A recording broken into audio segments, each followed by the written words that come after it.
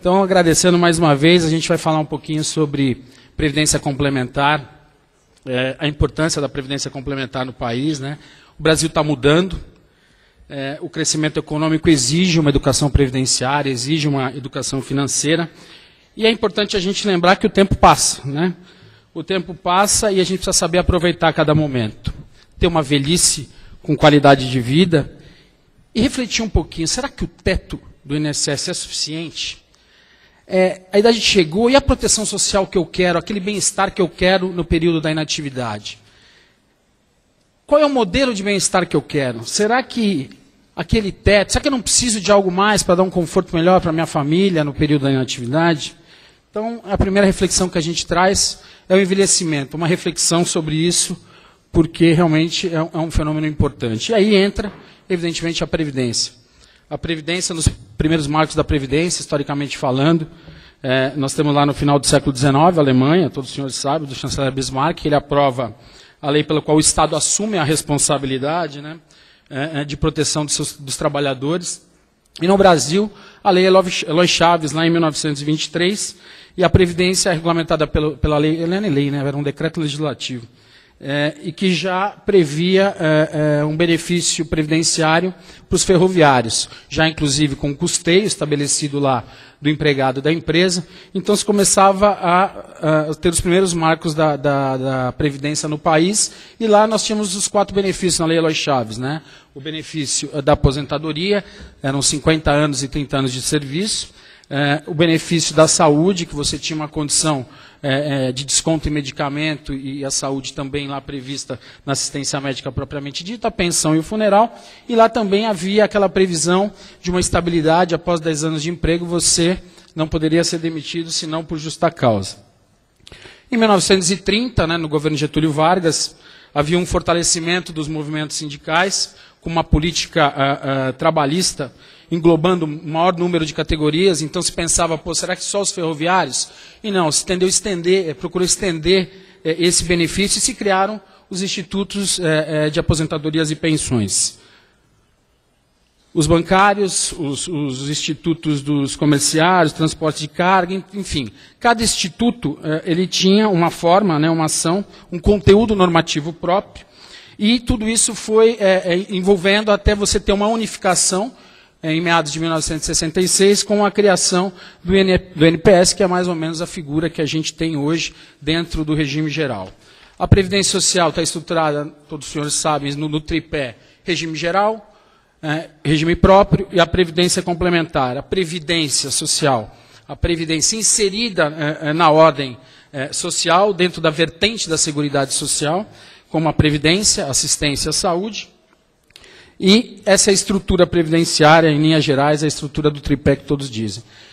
E hoje os estudos indicam né, que as pessoas estão vivendo mais. Né? O custo de sobrevida tem sido maior, é, há um, uma diminuição na empregabilidade, e a poupança individual se mostra, em função da longevidade, cada vez, é, é, cada vez mais insuficiente para aquela é, sobrevivência, para aquela qualidade, para aquele bem-estar social que eu me referi anteriormente, ao período da atividade. Hoje existem os estudos é, é, segundo a tábua de mortalidade. Hoje nós estamos vivendo aí por volta de 73, 75 anos. Acho até hoje que está superado, porque minha avó tem 96 anos, meu pai tem 80. Vai, acho que minha filha vai bater o 100, porque eu acho que o 73 realmente já está superado. E em função de toda essa estruturação, a gente percebe que há um esgotamento do Estado para gerir a aposentadoria. Hoje o Estado é, é, é, não consegue né, atingir é, com a devida é, excelência né, aquele grau de proteção que lhe foi dado, porque você está dentro do limite e os, e os problemas que hoje vive a Previdência Social. Então surge aí a figura da Previdência Complementar que é uma proteção previdenciária adicional ao trabalhador. Né? É, hoje você tem, ela vem com uma finalidade de ampliar aquela cobertura, aquela proteção social e sem nenhuma pretensão de substituir a Previdência Social. Né? Eu acho que são dois segmentos é, importantes né, que hoje no cenário previdenciário brasileiro são fundamentais. O Brasil tem o seu próprio desenho de previdência, é, é, temos outros estados, a Colômbia tem um, um, desenho muito específico da obrigatoriedade dos dois regimes, é, o modelo chileno, que não deu muito certo na privatização, enfim, o Brasil tem o seu próprio é, desenho. Mas um desenho que consegue é, a convivência de dois segmentos importantes na proteção social, que é, por um lado, o regime social e, pelo outro lado, o regime de previdência complementar, que é um esquema de proteção social, né, organizado dentro do, do regime privado das relações jurídicas e regulado pelo poder público. Ideias centrais da Previdência Complementar.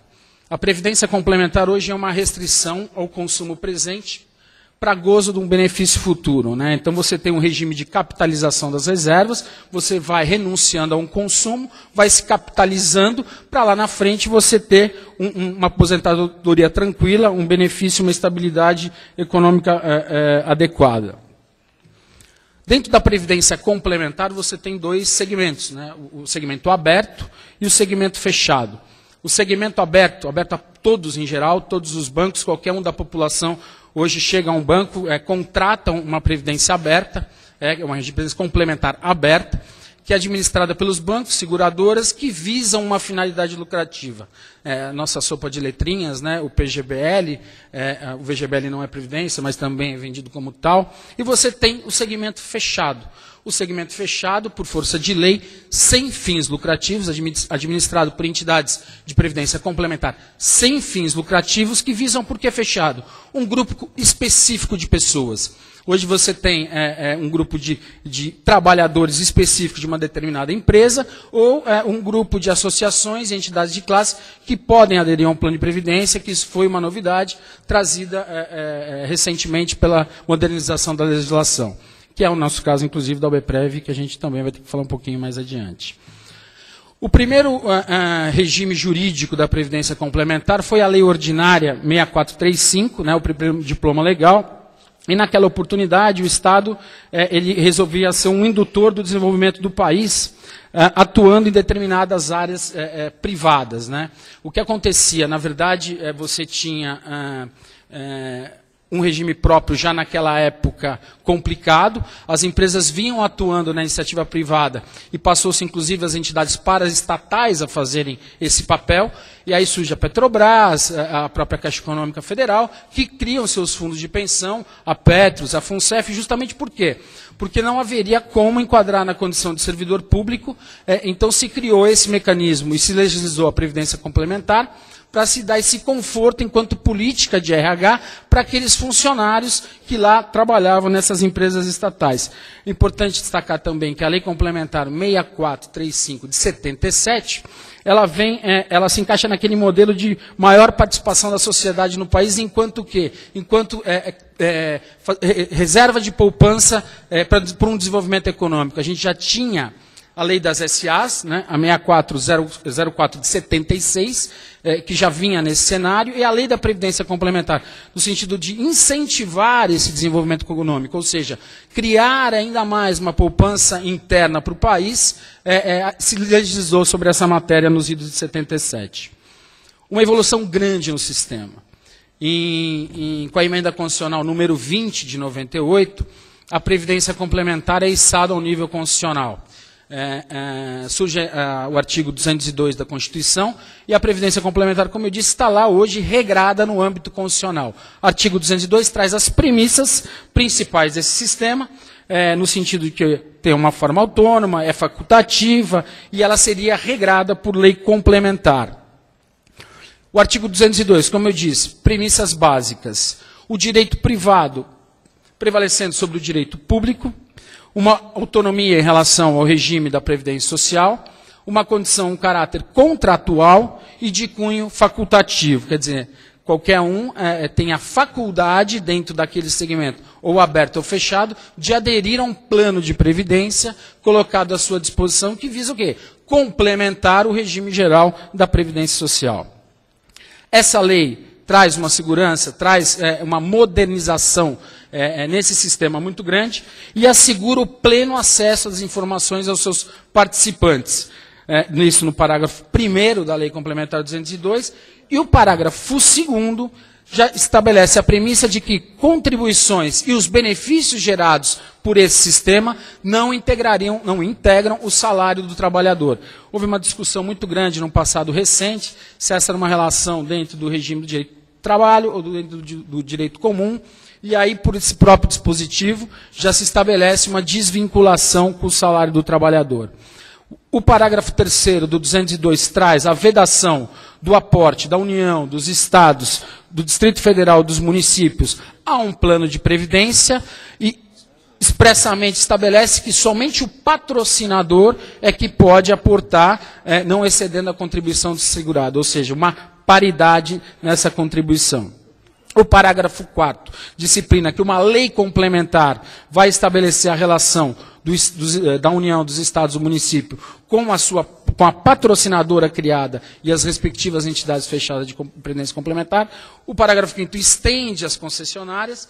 E o parágrafo 6 né, importante, permite ao participante ser ouvido, ter participação direta naquela entidade que ele está vinculado por força da sua adesão. Então, dentro do resumo traçado pelo artigo 202 da Constituição Federal, as principais premissas desse segmento, ele não substitui a Previdência Social, como eu disse, contratual facultativa, eh, baseado em constituição de reservas, para que se tenha um equilíbrio econômico-financeiro dos planos entre aquilo que se paga, aquilo que se capitaliza e aquele benefício que se recebe, uma transparência total das informações, é um, um preceito constitucional trazido pelo regime, regrado por lei complementar, não integra o contrato de trabalho, veda o aporte da União dos Estados e do município em planos de previdência, a não ser na condição de patrocinador, uma relação estabelecida por lei complementar, ampliando para as concessionárias, e a lei vai disciplinar a inserção dos participantes em né, instâncias de decisão dentro da estrutura organizacional dessas entidades. Principais diferenças estabelecidas entre os dois regimes por força dos preceitos constitucionais. A previdência pública oficial se desenvolve dentro de um regime de direito público, do princípio da legalidade, é, é, pela própria legislação que vai reger a matéria. A previdência complementar de cunho privado se desenvolve dentro de um regime de direito privado, é o contrato que vai estabelecer a relação entre as partes. A previdência social é básica, é manter um padrão de vida dentro daquele teto que lhe é, é, é concedido. A previdência complementar visa o quê? Atender um benefício é, é, é, maior de quem ganha assim, mais do que pretende um benefício maior que o teto. A previdência social é obrigatória a todos os trabalhadores, uma adesão automática, e a previdência complementar já é facultativa, voluntária e, como eu disse, é regrada pela liberdade de contratação.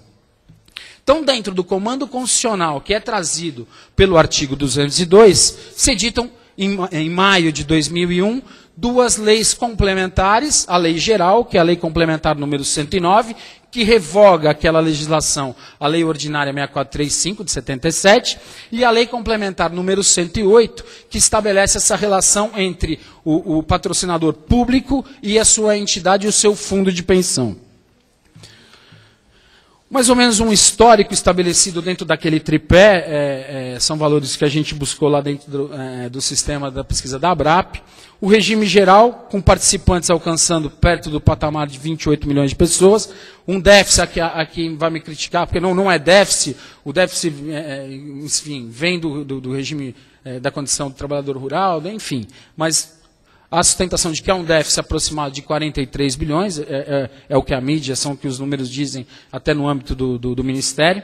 O regime próprio tem um pouco é, menos de um milhão de participantes e apresenta um déficit de mais de 51 bilhões de reais. Esse é o número que está sendo é, estudado hoje.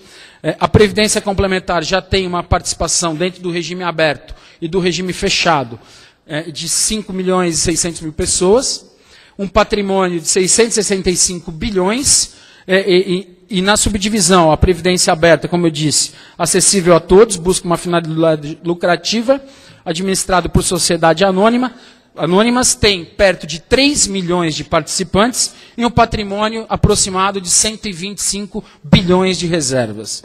As entidades fechadas, os fundos de pensão, é, dentro do regime da Previdência Complementar, a identidade de um grupo, é restrito a um grupo de pessoas que participam desse sistema, como eu mencionei. não tem, é, por imposição legal, lucratividade, né? é administrado por fundações, associações, sociedade, sociedades civis, a maioria são fundações, estruturadas inclusive dentro é, é, do próprio Código Civil. Participação de 2 milhões e meio de participantes diretos. Se você for alcançar os dependentes é, é, indiretos, portanto, participantes indiretos, nós vamos ter algo próximo de 7 milhões de pessoas e um patrimônio de quase meio trilhões de reais, que é aproximadamente 16, 18% do PIB.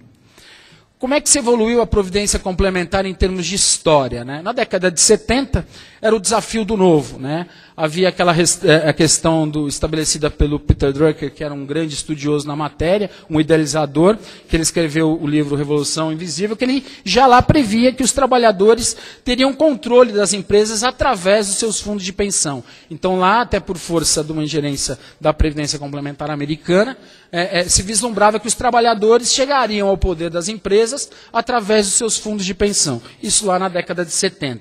Havia um programa dentro do Brasil de, de um programa nacional de desenvolvimento, priorizando investimentos na produção de energia, insumos e bens de capital. Por, por isso, haveria necessidade de você desenvolver uma poupança interna no país.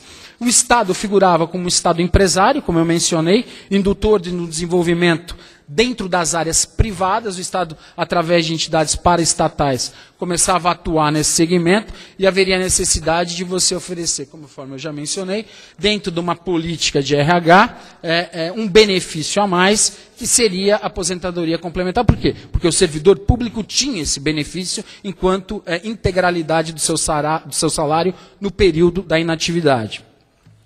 É, um grande idealizador, tanto da lei das SAs como da Previdência Complementar, foi na época o ministro Mário Henrique Simons. Ele destacava a importância dos fundos na consolidação, inclusive, do mercado de capitais, como investidores institucionais para uma formação de poupança interna.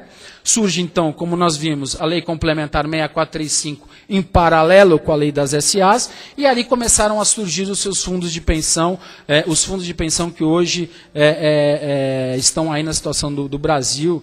a Previ anterior, mas surgiu a Petros, a Fundação CESP, a própria Fundação Promon, que é uma das mais antigas, enfim, dentro desse segmento da Previdência Complementar fechada.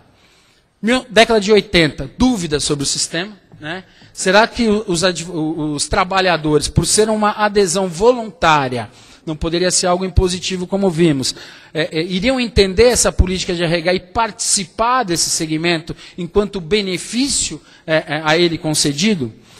Houve a edição do decreto porque a lei, a lei, a lei ordinária 6435 estabelecia que essas entidades eram entidades de assistência social. Enquanto entidades de assistência social, por força do artigo 150, letra C, inciso 6 da Constituição Federal, seriam detentores de imunidade tributária. E veio um decreto, o 2065, eh, na década de 80, que eh, revoga aquela imunidade, aquela condição de, de entidade de assistência social para um fundo de pensão e traz uma regra isencional. Que uma regra isencional, como todos sabem, pode ser regulada por lei e poderia ser revogada a qualquer momento aquele benefício fiscal concedido aos fundos de pensão. É, haviam os primeiros planos, é, é, surgiram os primeiros planos CD na década de 80, porque nós vamos ver mais para frente a característica de um plano de previdência. Você tem o plano BD, que é benefício definido, você contribui sabendo o benefício que você vai ter lá na frente, é, através de avaliações atuariais, você traça o custeio, e os planos CDs, que você sabe o valor da tua contribuição, que a acumulação de reserva vai gerar o seu benefício é, lá na frente. Qual a vantagem na troca desse? É, por que, que eles imaginaram que, que seria melhor migrar de um plano para o outro dentro dessa característica? Porque os planos BDs é, havia a, a, o risco de o risco atuarial de desequilíbrio dos planos. Então, o plano CD traz uma garantia maior de que não haverá, quando da concessão, um desequilíbrio entre aquilo que se paga e aquilo que se recebe. Havia uma discussão muito grande também, porque naquela década de 70 era uma vinculação entre a Previdência Complementar. Quer dizer, eu só vou gozar um benefício na Previdência Complementar, os regulamentos dos planos traziam isso, se eu conquistar a minha aposentadoria pelo, pelo INSS. Então, suplementaria do INSS e a condição de ser aposentado era um requisito. Houve muita discussão se eu poderia antecipar é, esse benefício para a iniciativa privada. E, e foi uma dúvida, eh, enfim, surgiu um, foi um, um longo caminho de debates que se trouxe dúvidas acerca do sistema. Na década de 2000, uma tímida recuperação é, é, que o sistema teve, algumas ameaças. Houve a edição das leis, a edição das leis 108 e 109, como eu disse, no sentido de modernizar o sistema, de blindar o sistema, é, de trazer o nível constitucional por força do cumprimento da, do artigo 202 da Constituição. O modelo de gestão de investimentos trazido pela lei complementar número 109, que vedava a, a, a aplicação compulsória de investimentos, porque esses fundos formados na capitalização da reserva, das reservas, nós vamos ver mais adiante, eles são investidos conforme diretrizes traçadas pelo Conselho Monetário Nacional. E naquela oportunidade, naquele período é, é, da década de 70, o Conselho Monetário dizia assim, não, você tem que obrigatoriamente aplicar em tal título. Era uma aplicação compulsória, o sistema é, é se rebelou muito contra isso, e na lei complementar número 109, no artigo 9 parágrafo 2 veda a aplicação compulsória em que, em, em que seja investimento traçado por uma diretriz do Conselho Monetário Nacional. Isso tudo com o intuito de modernizar, de blindar, enfim, de resguardar aquela poupança formada dos participantes. Houve uma participação muito grande dos fundos de pensão no processo de privatização que desencadeou em todos os estados da federação, São Paulo é, é, foi um precursor, o próprio setor energético é, é do país, e os fundos de pensão é, apostaram muito nisso enquanto investidores institucionais que são. Houve uma perda, como eu disse, havia uma discussão muito grande da imunidade tributária dos fundos de pensão. Discutiram isso no Judiciário por mais de 20 anos. E no Supremo Tribunal Federal, num leading case julgado é, é, na década de 2000, é, houve a perda da imunidade tributária, que isso realmente causou um desconforto no sistema, um período de insegurança, de ameaça em função da, daquela recuperação que vinha se desencadeando no sistema. Começo da virada, um compromisso de campanha de todos os candidatos à presidência da República em 2002, de que iriam fortalecer e prestigiar o sistema da Previdência Complementar no país, uma mobilização geral dos grandes atores desse sistema, os trabalhadores através do sindicato, as empresas através dos seus entes representativos, os próprios fundos de pensão através da ABRAP, que é a Associação Nacional, no sentido de fortalecer o sistema como um todo e modernizá-lo a reforma da Previdência Social inserida na agenda de todos os candidatos, como eu disse, e a Previdência Complementar cada vez mais se destacando como uma formação interna de poupança, de riqueza dentro do, do cenário brasileiro.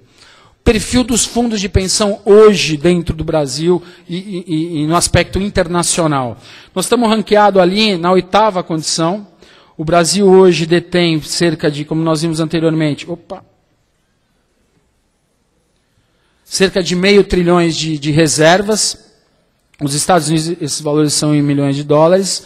O Brasil hoje, então, já se destaca internacionalmente como um regime de previdência complementar fechado, que já está sendo copiado, já está sendo visto por outros países do mundo. A Argentina hoje está aqui procurando é, entender um pouco mais o nosso sistema, porque é, eles tiveram vários problemas em termos da estruturação da Previdência Complementar lá. Hoje, pela própria discussão que vem sendo travada da Previdência Social no âmbito europeu, o Brasil já vem sendo visto é, como é que está sendo praticada a Previdência, o regime previdenciário brasileiro no seu tripé. Enfim, hoje a gente já está sendo falado como administrador de Previdência Complementar ranqueado é, no oitavo em termos mundiais. Na estruturação dos fundos de pensão, nas entidades fechadas de previdência complementar, regidas que são pela lei complementar, número 109, o artigo 35 estabelece uma estrutura mínima que essas entidades têm que ter, um conselho deliberativo, que é seu órgão maior, um conselho fiscal, enquanto órgão de fiscalização interno dentro da entidade, e a diretoria executiva, que acaba executando o dia a dia eh, dessas entidades. Alguns requisitos que a lei estabelece para você integrar um conselho deliberativo hoje de um fundo de pensão. Você tem que ter comprovada experiência profissional, você não pode ter sofrido qualquer condenação, seja criminal, seja administrativa. A diretoria obrigatoriamente tem que ter um nível superior, está na lei, e a comprovada experiência naquelas atividades atinientes ao dia a dia da estrutura de uma entidade dessa. Tudo isso no sentido de profissionalizar, de modernizar esse sistema como forma do quê? Previdência complementar é credibilidade. É buscar dar a credibilidade que o sistema precisa, no sentido de se buscar evolução cada vez mais, tal como vem ocorrendo.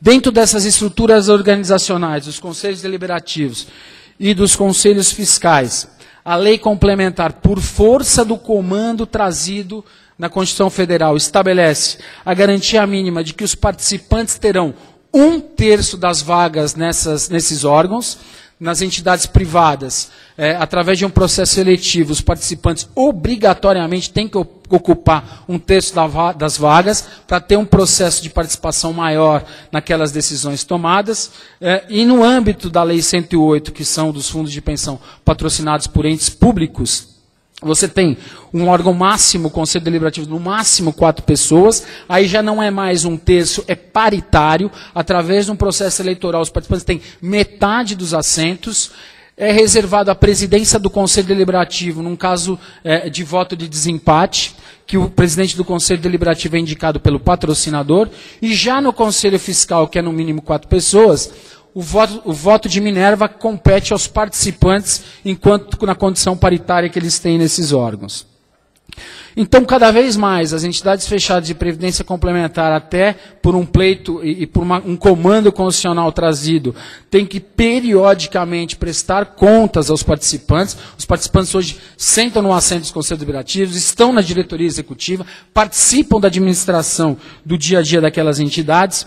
Eles têm um poder maior de influência nessas entidades, cada vez mais. Por quê? Porque o fundo de pensão é, aquele lá, é um patrimônio deles. Eles constituem para um benefício, para uma aposentadoria complementar deles. Então, eles têm esse poder é, é, é, de maior influência nos órgãos.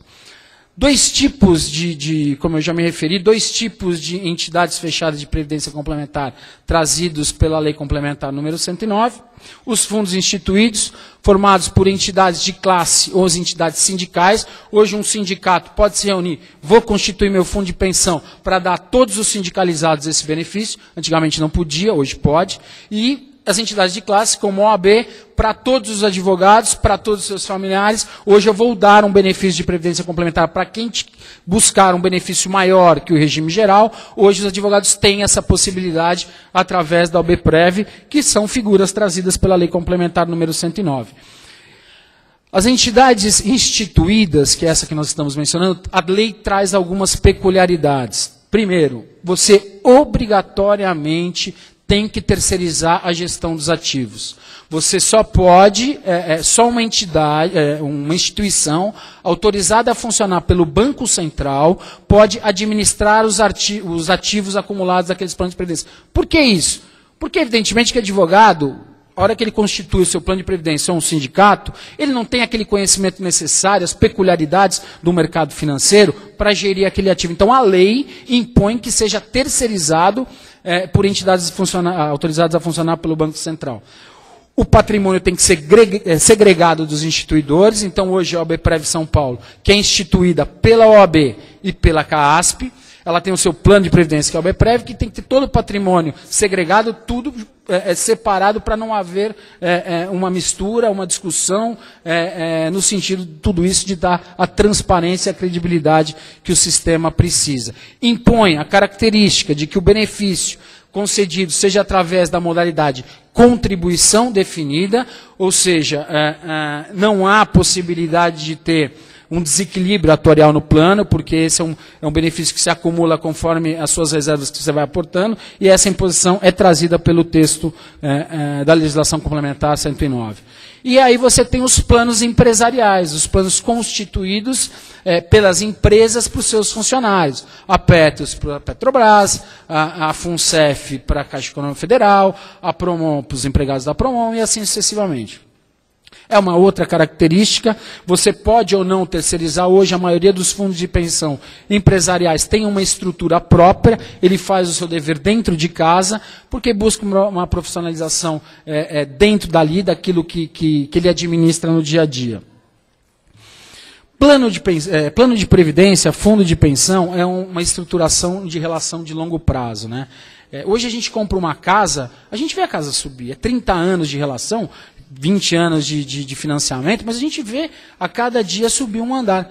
Plano de previdência complementar não. Você assina um contrato de 20, 30 anos de contribuição e você é, é, não vê. Então você precisa de uma credibilidade, você precisa de uma blindagem. Hoje o sistema vem em franca evolução, como a gente viu nos números. Então, na verdade, o que, que ele vai buscar? Ele quer buscar um, um, uma tranquilidade maior no período da inatividade, acumulando um recurso, como eu disse, acima do regime geral. E para a empresa, qual é a vantagem? Ela dá esse benefício enquanto política de RH, substitui o seu corpo de funcionários de uma maneira é, não traumática e possibilita a oxigenação é, é, da troca de talentos naquele grupo de funcionários que atuam para ela. Mas qual que é a importância disso? Fiscalização. Né? Os fundos de pensão é, tiveram aí num, num, na década de 70, né, envolvidos em algumas CPIs, em algumas é, é, condições, principalmente os paraestatais, porque a lei, a lei ordinária 6435 não trazia garantias que foram previstas na modernização da legislação. Então, a fiscalização de um fundo de pensão hoje é fundamental para você dar a necessária segurança que o sistema precisa e a tranquilidade que o participante tem. Então, além daquelas condições, o participante vai estar no assento, é, o participante vai fiscalizar de perto os seus números. Enfim, além de tudo isso, você tem que ter uma fiscalização. Como é que ela se procede? Primeiro, dentro, hoje você tem é, é, resoluções, você tem previsões que estabelecem uma auditoria é, interna, você obriga uma atuação maior do Conselho Fiscal. Hoje, o Conselho Fiscal de um fundo de pensão tem uma atuação muito maior do que tem o Conselho Fiscal de uma SA, por exemplo. Não é só você endossar o balanço que é feito pelo auditor independente, você tem várias outras imposições de atuação para ele eles. E você tem hoje o que a gente é, conseguiu aí na, nos, em 2009 com a criação da Previc. A Previc é hoje é a entidade que fiscaliza os fundos é, enquanto órgão de Estado, não é órgão de governo, é uma autarquia especial, que ela veio para modernizar também o sistema, no sentido do aperfeiçoamento do processo fiscalizatório. Para quê? Como eu disse, buscando a credibilidade que o sistema precisa e tem.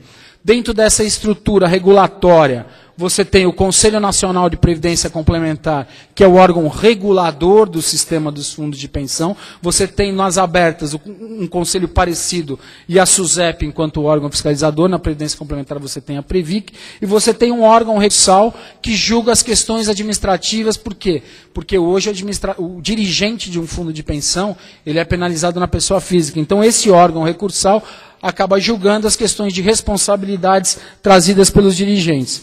Os gestores, como eu disse, da, da, da, Previdência Complementar, hoje respondem administrativamente, civilmente e penalmente pelo descumprimento de qualquer das obrigações trazidas no ordenamento jurídico.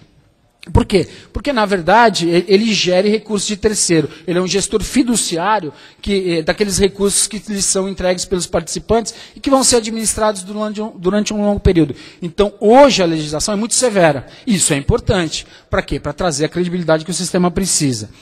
A legislação estabelece quatro advertências no âmbito, é, é, desculpe, quatro penalidades no âmbito administrativo: advertência, suspensão, inabilitação e multa. Multa até o valor de 2 milhões de reais. Então, como eu disse, é um regime repressivo forte e precisa ser assim. E já vem estabelecido na própria lei como se dá essa estruturação é, na, na disciplina das entidades.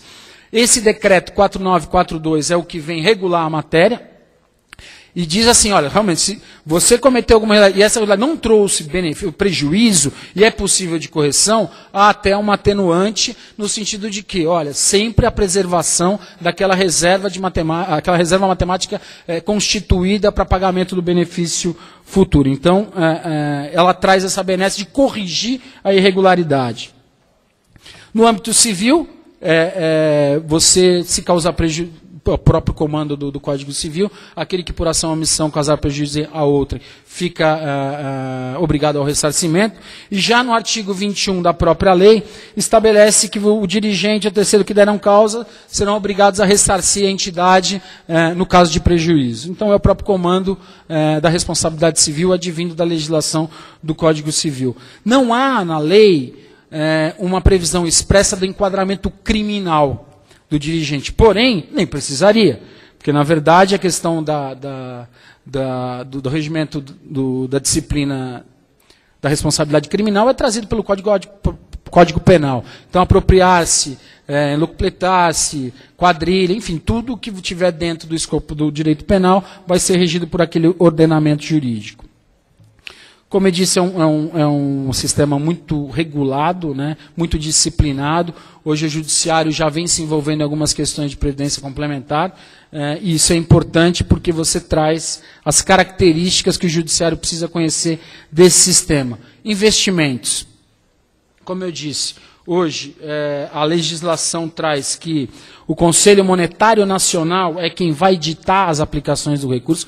O, o, gestor não pode livremente aplicar como bem entender aquela reserva. Vocês terem uma ideia, hoje a Previ tem quase 190 bilhões de reais constituídos. Né? Ela alcança. É, ela alcança 80 mil participantes e a Previ hoje, é o maior fundo de pensão no país, administra 190 bilhões. Imagina essa diretoria da Previ, que pede ter participante, né? começar a administrar como bem entende esse recurso. Não.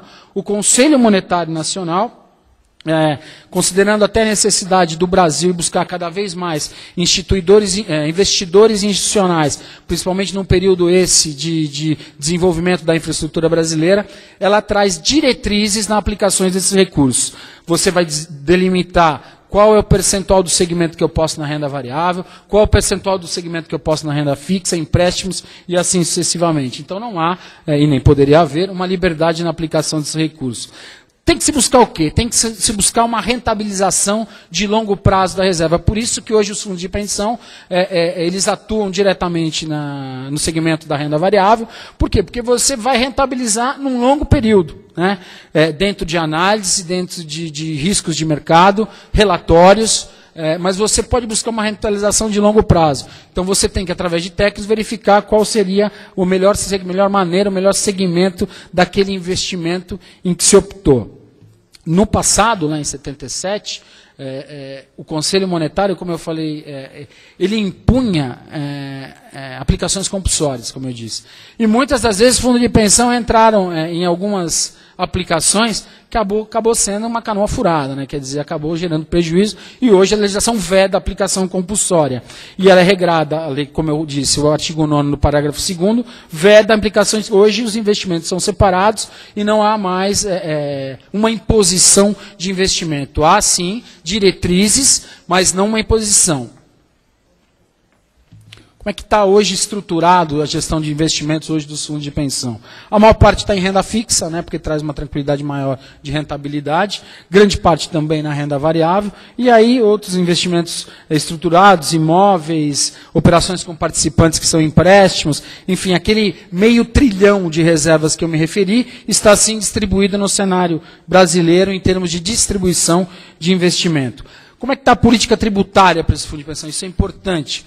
Como eu disse lá, lá atrás, teve uma discussão de uma imunidade tributária, e o fundo de pensão tem que ter uma política tributária adequada para quê? Para ter um desenvolvimento socioeconômico do país, socialmente falando, porque você vai procurar o bem-estar social, e, e, economicamente falando, porque é reserva inter, é, poupança interna, é riqueza interna que você implica no desenvolvimento econômico do país.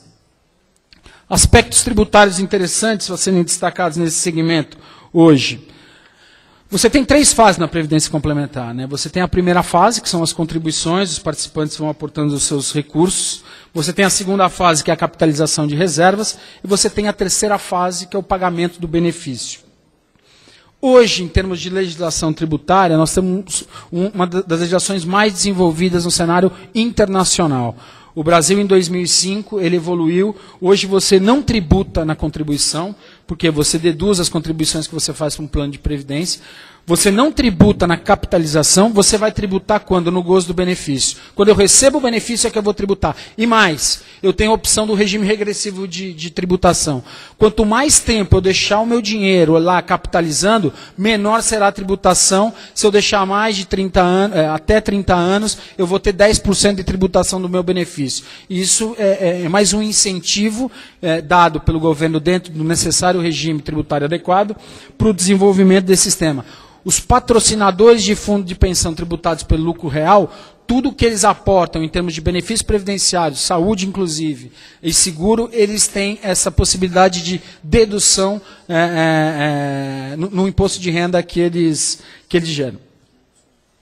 contribuições é, sociais e federais dentro desse âmbito do, da previdência complementar, PIS, COFINS. A, existe uma discussão muito grande se há uma tributação é, dessas contribuições no segmento, na atuação. Por quê? Será que os fundos de pensão praticam ou, ou, implicam na sua atividade de receita, receita bruta naquele sentido trazido pela legislação tributária, que é compra e venda de serviço oriunda da, da, da emissão de nota fiscal? Será que é um faturamento passivo de tributação, é, é, no sentido de se faturar algo dentro daquela atividade? A gente tem que lembrar que fundo de pensão, tudo que ingressa num fundo de pensão está comprometido com os funcionais. Ou seja, tudo que eu ingresso dentro do meu plano de previdência é para pagar benefício. Então não é receita, não é faturamento. Está tudo envolvido naquele plano de previdência, naquela reserva matemática que eu vou constituir para que o, o, participante faça jus ao final do seu período uh, de contribuição.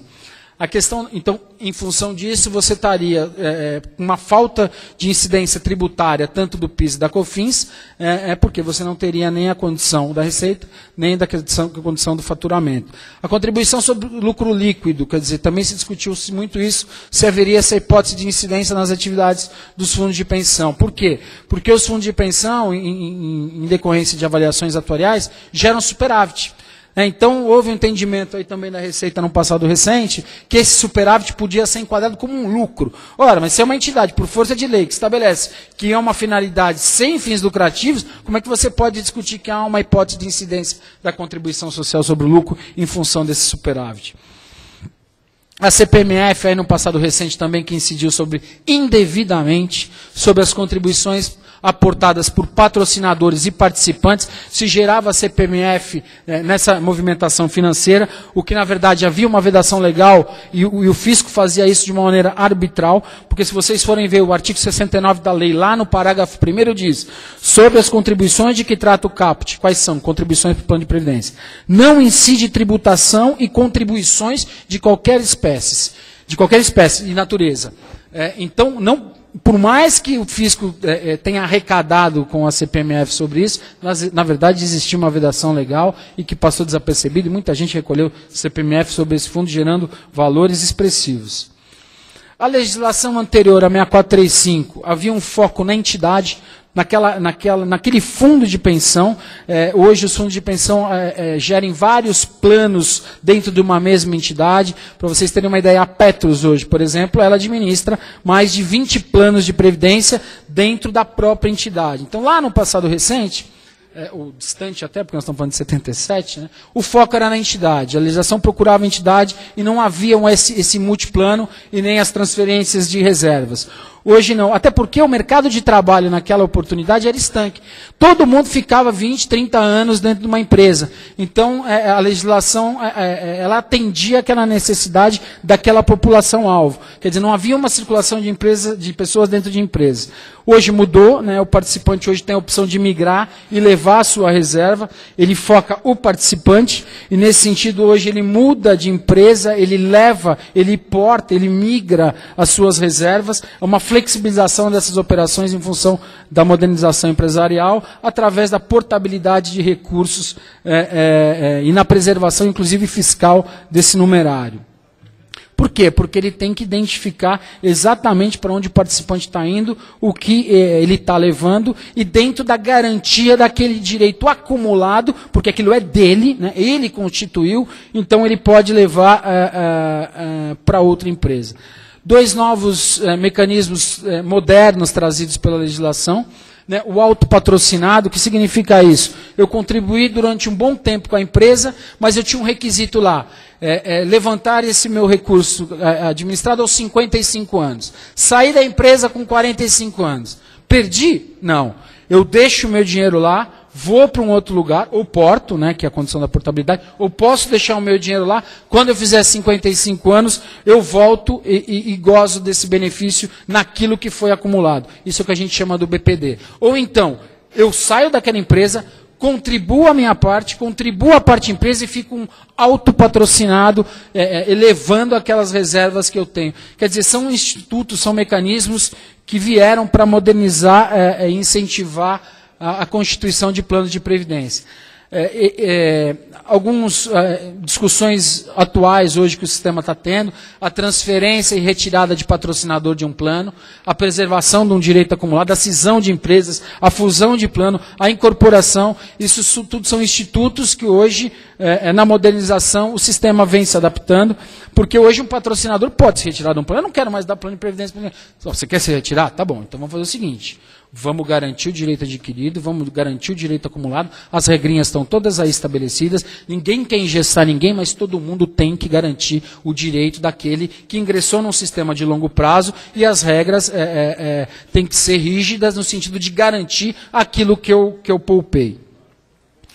É um conjunto de direitos e obrigações que vai de um plano ao outro, então é importante que o participante, estando, estando sempre privilegiado, prestigiado também dentro dessa estrutura de modernização, de levar aquilo que eu acumulei para um plano para outro, de mudar de empresa, é importante que as entidades hoje tenham, e como tem, um registro contábil específico, né, que cada plano saiba exatamente aquele compromisso que ele tem com seu participante. Né? Hoje, como eu disse, existem entidades multipatrocinadas, então o registro contábil daqueles direitos acumulados e a, a transparência na informação que o participante tem que enxergar aquela reserva que ele acumulou são fundamentais. E hoje o sistema está muito moderno, está garantido. Hoje há uma tranquilidade no sentido de se preservar o direito adquirido e o direito acumulado. Distinguir né, o que é, é, entidade que administra recursos de terceiro e que é o plano que eu integro, que hoje, inclusive, os planos é, é eles estão apontados com um, como se fosse um CNPJ. Né? Hoje a gente tem o CNPB é, dos planos que estabelecendo uma independência, identificando aqueles compromissos que o plano tem com aquela massa de participantes como eu disse, é o CNPB. Cada plano hoje, dentro do órgão fiscalizador da Previc, tem o seu cadastro nacional de planos de benefício. Lá tem participantes, dependentes, quanto ele está aportado, enfim, o plano hoje, ele tem uma, uma, eu não vou dizer personalidade jurídica própria, porque a personalidade jurídica própria é trazido é, pela legislação é, tributária enquanto é, empresa comercial do CNPJ. Mas o plano hoje é identificado pelo segmento de previdência complementar com a sua estrutura individualizada, justamente para permitir essa, esse movimento moderno. A segregação, como eu disse, importante, cada plano, enfim, isso a gente já falou um pouquinho. As duas características dos, dos planos que eu disse trazidos, o, o, o, benefício definido, você sabe o benefício que você vai ter lá na frente, as suas contribuições são calculadas atuarialmente, e os planos de contribuição definida, eu sei quanto eu vou contribuir, e não sei meu benefício, meu benefício hoje vai ser formado por aquele tanto que eu contribuí. Então eu quero ter daqui a 30 anos uma reserva de 500 mil reais é, é que vai me fazer. Então, quanto eu tenho que contribuir para atingir aquilo? Então eu vou ter que contribuir através de uma simulação, de um cálculo atuarial, eu vou ter que contribuir mil reais por mês para ter 500 mil reais daqui a 20 anos, para ter um, eu, eu ter uma, uma aposentadoria complementar de 3 mil reais que eu vou fazer gozo do benefício mais durante 15 anos. Enfim, são cálculos atuariais, são, são simulações que você vai conforme a sua necessidade lá na frente, no período da inatividade. Muito importante que a Previdência Complementar tenha, é, é, até em função da boa gestão, de regra de gestão, um conservadorismo, uma prudência, né, zelar para que esses recursos estejam é, constantemente equilibrados, recursos de terceiro, contrato de longo prazo, então uma prudência é fundamental na gestão desses recursos, até porque esses recursos hoje, principalmente os planos BD no passado, eles podem gerar déficit ou superávit. Se eu gerar déficit, dentro daquele cálculo atuarial que eu tive, no plano BD, eu vou ter um benefício maior daquilo que eu imaginei. Só que pode gerar déficit, pode gerar déficit. Vamos supor que eu tenha muito dinheiro na Bolsa de Valores e a Bolsa só venha caindo, só venha caindo, só venha, e há, um déficit. Isso é previsto na legislação. E o déficit que você faz, ou você aumenta a contribuição, ou você é, diminui o benefício. Isso não tem muita mágica, né? É, nós tivemos um problema desse no nosso, na nossa categoria, que foi o problema do IPESP, quer dizer, tem outras peculiaridades, mas não é um plano de previdência complementar, é um regime híbrido, né? mas foi mais ou menos isso. O que se custeava não se pagava benefício. Houve um desequilíbrio. Então tem que parar, tem que corrigir. É, é, superávit hoje tem algumas regrinhas de distribuição.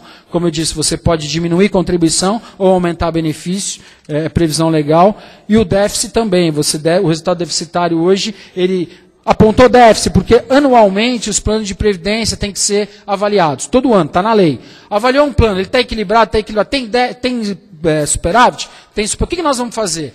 É, segundo as regras traçadas pelo órgão regulador, você tem a condição, de novo, de é, diminuir contribuição e aumentar benefício, ou vice-versa. E déficit? Deve ser ou aumento contribuição ou diminui benefício mas sempre através de um amplo debate, de uma ampla discussão. Os, alguns fundos de pensão, até a edição da lei complementar número 109, em maio de 2001, atuavam como é, autogestão em saúde. Né? A Petros tem seu plano de saúde concedido aos seus funcionários, a Fundação CESP também, ao seu, a sua gama de participantes. Quem praticava até a edição da lei complementar no Senado pode continuar, como autogestão regulado pela lei dos planos de saúde. Quem surgiu, quem não praticava isso até maio de 2001, está é, é, vedado, não pode, eles têm que ficar exclusivamente atinentes à atividade da Previdência Complementar. E dentro da autogestão, as entidades que praticam isso têm peculiaridades contábeis, têm regramentos específicos, é, é, no sentido de se preservar e se é, separar um patrimônio do outro. A segregação de compromissos entre o plano de previdência e o plano de saúde alguns riscos que esse sistema tem, né? Não é só essa maravilha toda aqui, tem riscos, né? Então os riscos é há hoje é, uma gama de contencioso traçada na discussão participante, plano de previdência, que está chegando ao judiciário. O judiciário, então, ele precisa conhecer isso a ânsia arrecadatória, como a gente viu, PIS, COFINS, contribuição social sobre lucro, e, e como são é, é, cálculos atuariais, simulações, estatística, algumas simulações de dados que induzem o participante a erro. Então, esses riscos realmente existem. E é importante também, assim, a estruturação de um plano de previdência qual, é, é, é, é mutualismo, gente. É, é, um grupo de pessoas integrando um plano de previdência, principalmente no regime BD. Então, se houver um pedido de uma massa de participantes sem fundamentação, você pode colocar em risco a estruturação de um plano de previdência. Por isso que anualmente você tem que estar avaliando no, no sentido de dar a segurança e a certeza que esse regime, que esse regime exige. Já estou terminando, tá? excessos de interpretação, né, esses excessos que podem trazer um desequilíbrio, e esse excesso de interpretação ou de pedido vai conduzir numa discussão muitas das vezes vai cair no poder judiciário, né? O tema é complexo, como eu disse, então a gente tem que estar tá estudando, tem que estar tá se capacitando, tem que estar. Tá, quem quer atuar nesse sistema, quer advogar, quer entrar como participante, enfim, precisa estudar, conhecer esses regulamentos, principalmente nós advogados. Existe hoje o sistema, uma busca por uma profissionalização e uma certificação dos dirigentes, no sentido de capacitá-los na administração desses recursos. Os estatutos, é, é, é, os regulamentos, hoje definem claramente a competência de quem é o que, quem faz o que, até para responsabilização criminal, civil, administrativa. É, é, identificar quem cometeu o erro e punir. Hoje, como eu disse, o regime disciplinar é muito rígido, né? tem que identificar essas responsabilidades. E difundir a ideia. Né? É importante a gente estar tá discutindo, estar tá debatendo, entender o funcionamento. Né? Então, é, é, no sentido realmente de capacitar, como eu falei. E muitas vezes você tem que ir ao judiciário explicar isso, porque o judiciário acaba sendo é, é, o fiel da balança no final da discussão. E muitas das vezes hoje a gente sabe a dificuldade que o judiciário tem para se definir, principalmente uma matéria muito complexa dessa, entender é, é, e resolver adequadamente conforme todos esperam muito acúmulo de ações hoje, isso não só no regime, não é um privilégio da Previdência Complementar, em linhas gerais, padronização de soluções no debate. Né? O que os participantes buscam é uma garantia de que aquele, direito, aquele contrato previdenciário firmado vai ser preservado. É isso que hoje a gente vê essa, muita discussão da Previdência Complementar no Judiciário, e hoje a gente está com muita informação. Né? Hoje a gente, é, é a modernidade, as gerações Y, X, enfim, é, é, hoje é, há um excesso muito grande de informações e muita informação desqualificada. Né? Eu acho que a gente tem que começar a selecionar as informações no sentido de atingir aquela finalidade daquela informação desqualificada, a separar aquela informação desqualificada, porque você acaba é, estando irritação. Você tem, se você não entender, vier com uma, com uma com uma discussão numa demanda desqualificada, você vai levar irritação. E para quem, quem que você vai reclamar? Né? Você vai reclamar, na verdade, você vai reclamar do Poder Judiciário e caracterizar a indústria de liminares que a gente tem aí hoje. Cada vez mais o advogado, o empresário, precisam estar no ambiente de comunicação permanente, né, para se virar esse jogo, né, qualificar, como eu disse, capacitar as pessoas envolvidas nesse sistema, é fundamental isso, se esforçar para levar o judiciário uma maneira clara né, né das características, das peculiaridades desse sistema. E a comunicação, o sistema precisa melhorar a comunicação com o participante. O participante precisa entender aquilo que ele está contratando, aquilo que ele vai ter de benefício.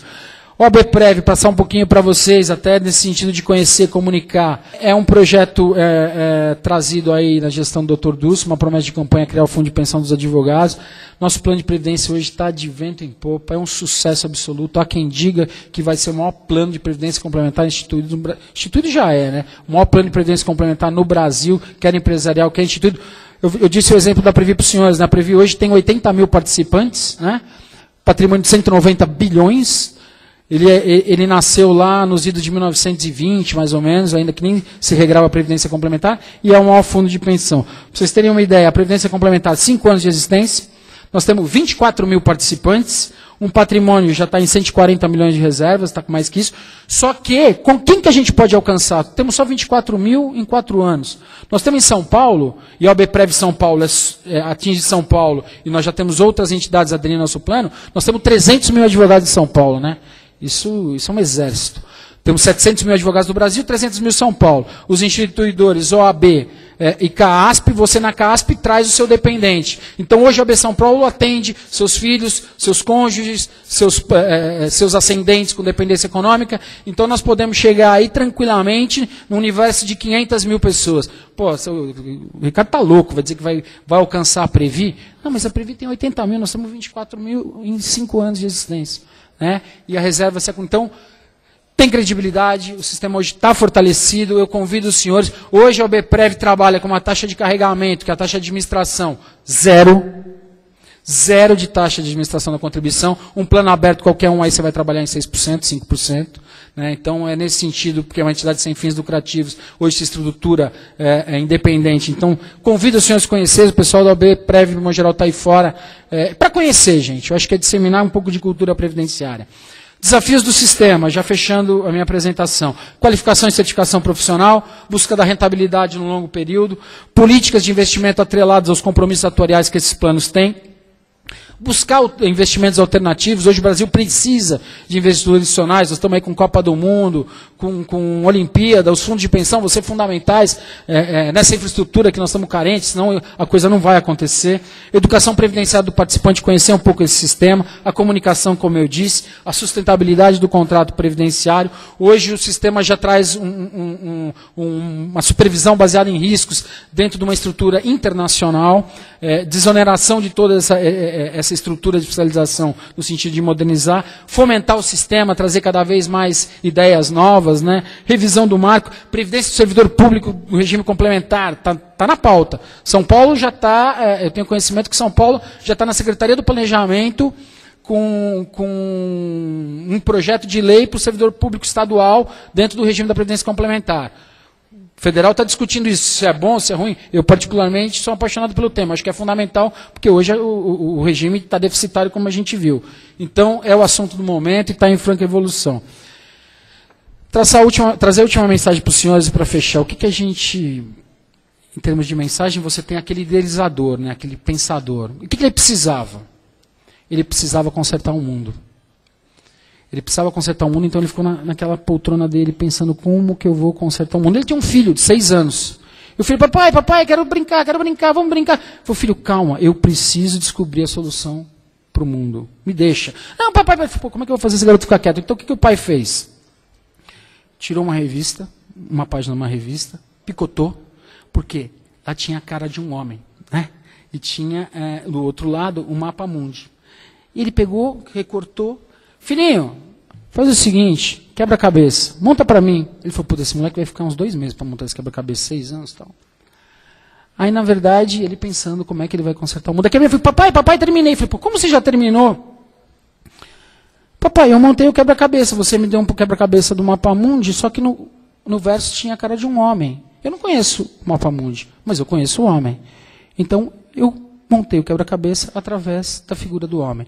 Então, a gente só vai consertar o mundo se a gente consertar o homem.